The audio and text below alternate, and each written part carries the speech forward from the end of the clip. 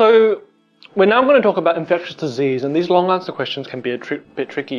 And when I first looked at this question, discuss the cause, transmission, and social implications of AIDS, I was like, oh my god, it's one of the hardest ones there is.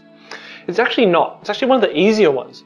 And the reason why is because it breaks it down for you. You talk about the cause, talk about the transmission, talk about the social implications. And altogether, you're looking for about eight points. Okay? So, let's talk about the cause. Really simple. Cause, what is it? Caused by HIV, or human immunodeficiency virus. And we should write that out.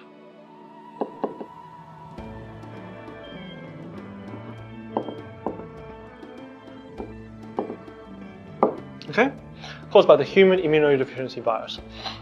And what does it do? So, HIV, it targets the T lymphocytes.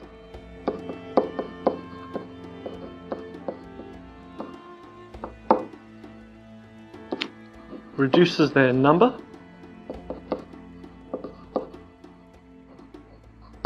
And reduces immunity altogether.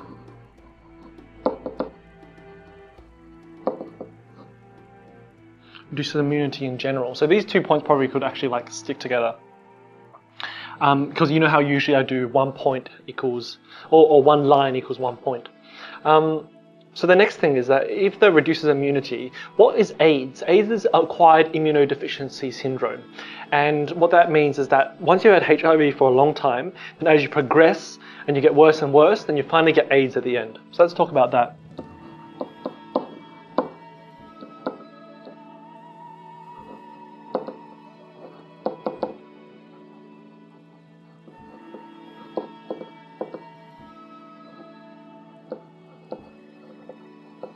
So it's this particular name and is the and is a late manifestation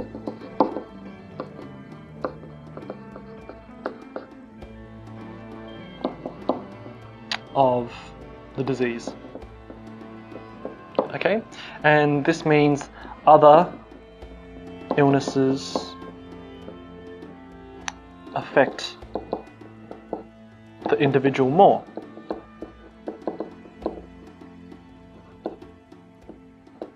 Okay, good. So that's about the causes, and we've got like one, two, three, four, five points here. So um, what they'll usually do is they'll, they'll, give you a maximum number of marks that you can get for a particular section. So this one might be three to four marks. You know, each one might be three to four marks for a total of about eight to nine. Okay, so let's talk about the transmission. And there's not actually that much to talk about the transmission. Um, so transmission via blood products. Sexual fluids,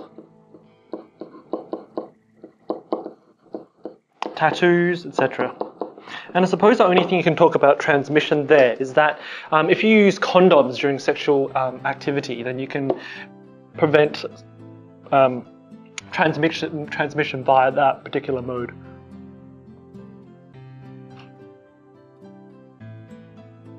Can be prevented sexually by using condoms.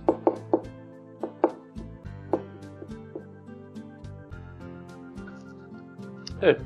Okay, so the final thing we need to talk about, because there's only a couple of things for transmission, so it's a bit difficult to get more. Um, I think we have a few other uh, points that, that, are there, but they're very like obscure and it's hard to remember them. So we'll jump straight to social implications.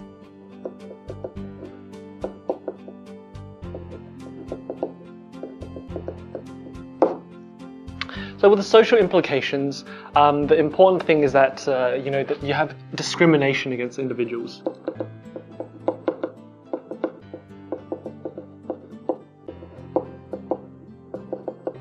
Because you know if someone has um, AIDS, then obviously no one really wants to be around them because they have um, an increased chance of being passed on to them. I guess even though it's relatively low as long as you're sensible. And the economic impact of that is that you have um, disruption to the economy. So. Disruption to the economy. And you can also have decreased reproduction because, I mean, sexual activity is one of the ways to transfer it. So if you transmit it via sexual reproduction and people stop having sex, then bam, then not many people will be getting HIV anymore. But the problem with that is that you have a decreased population size or decreased birth rate. So lots of these economic activities um, can be affected as well.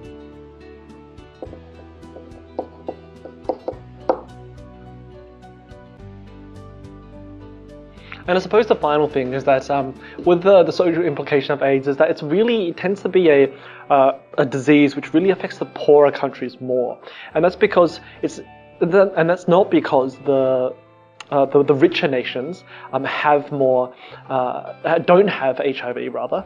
It's because that the the HIV which is in the richer nations uh, are controlled well. So I guess there is, is this there is this onus on the richer countries to help out the poorer countries.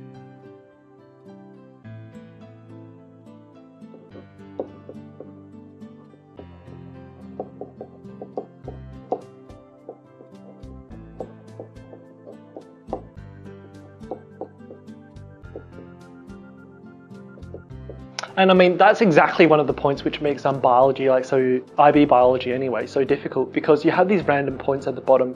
So the bottom line is the more that you expand, quicker you write, the more that you expand, the more likely marks that you'll get. Okay, so just to quickly summarize, we've got two points here down there for transmission um, and another four points here for social implications. But remember, there's probably a maximum of about three marks for each one. So maximum of three, we've done five points, so we've got three there. Got two out of three here, and we've got three at the bottom. So we will get our eight marks, hopefully. But um, it's yeah, it can be a bit tricky sometimes, kind of. Next question, very easy question, but I thought we'd run through it anyway because it's something completely different. Uh, well, not completely different, but uh, different from HIV. So different list types of organism apart from bacteria that can cause disease in humans. And straight away, we talked about HIV, which is human immunodeficiency virus. So you just need to talk about list different types. So we're looking for about four to five points here. So one of them is viruses. Okay. Another thing is protozoa. So there's this uh, protozoa called, uh, which causes a leishmaniasis. It's like this little bug that gets into, not really bug, but little um, uh, protozoa that gets into your um, skin if you go to South America and can be quite, quite painful. So people can also get caused by fungi. So if you have like ever had tinea or athlete's foot, that's caused by fungi as well. And some of the weird things. So say if you go to uh, places where the food is really poorly prepared. I know that there's this. Um, that sometimes there's this like worm that can get into pork, and if you eat that, then it goes into your tummy and actually invades your brain, and you can get like epilepsy from that. Scary stuff. But anyway, so the, the two ones. So think of flatworms as well as roundworms. Okay, so there are five marks there. Very simple questions, but I thought we'd uh, finish off the day with a simple question. Okay. There are plenty more YouTube videos for you to check out, just click on the links below. If you'd like to download the questions, as well as the answers, make sure to like us on Facebook first. And finally, if you'd like to find out how I got a 7 in high level IB biology, make sure to check out our website in the bottom right hand corner. Thanks.